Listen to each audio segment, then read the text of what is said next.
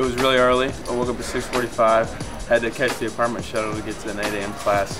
Uh, came two hours early and I haven't had class yet, so just chilling out here on the bench. Really nervous. I didn't know how first day of college was going to be. Freshman first day, I was definitely a lot more nervous and overwhelmed by the amount of people, but I'm more used to it now, even though I had to like refresh my memory. Last year I was way more intimidated, so like this year it was so much easier. It's going good. I only have one class, but I made it on time, and then I'm, now I'm hanging out to my next one. I'm lost. Yeah, we cannot find her class. I still, I'd never been to the building we went to, so as a senior I got lost.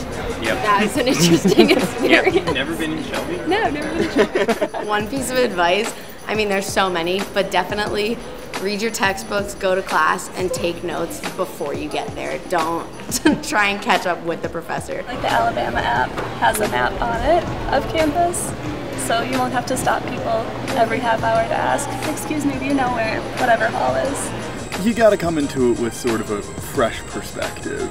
You can't try and expect it to be like what you've been doing before. Stay focused, talk to your teacher, sit in the front, take notes. Don't be afraid to ask questions.